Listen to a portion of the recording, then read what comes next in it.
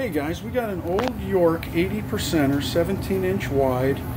The drop is 8 by 20. This is a 3 ton.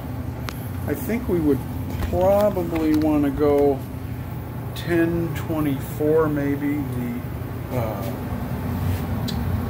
uh, filter is a 1620 by 1. Kind of tricky to get at right there.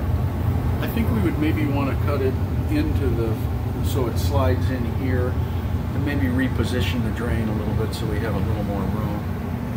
Uh, here's our refrigerant line. We definitely want that cleaned.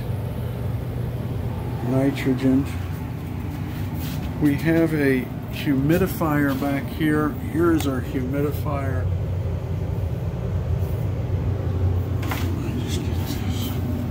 Let me get a light on this, guys.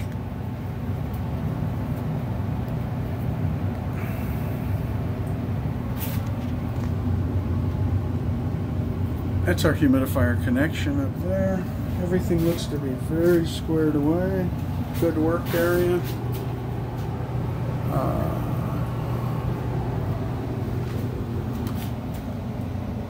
we want to address this. Okay guys, so long and thanks for listening.